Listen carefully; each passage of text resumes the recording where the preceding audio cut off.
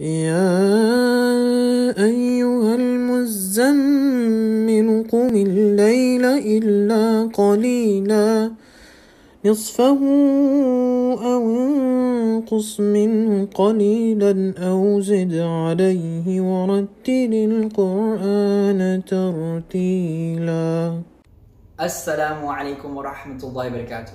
Welcome to our next letter day in our letter day journey, which inshallah today we'll be covering the letter Ta.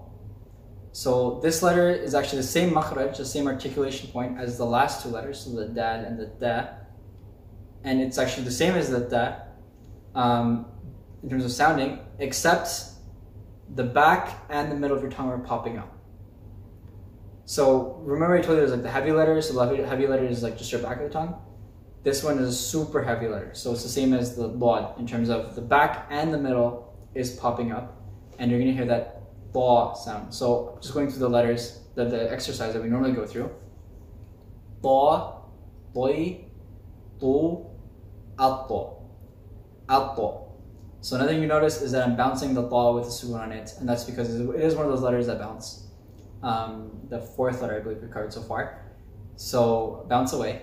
Um, and a common mistake that I hear with this letter, same thing I was mentioned with the dod, is that they're circling the lips when there's no dhamma on it. So I kind of hear like dua, dua, or like uh, for like the, the, the word talib, or hear like tualib, or like it might just sound dalib. um, so we want to make sure it's ba, talib, talib, and just sneak peek to the next uh, coming letter that bounces as well. Um, but that's the first word we'll use, talib.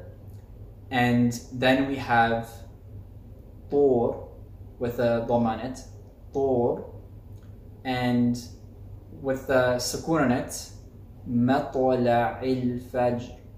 Just saying a phrase, matla'il fajr and um, it might be a difficult letter for some people as well. It isn't again, a letter that you can translate to any language I can think of, but especially not English. Um, so hopefully um, this video helps and inshallah, jazakumullah khair.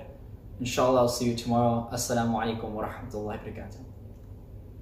فكيف كان عذابي ونذر؟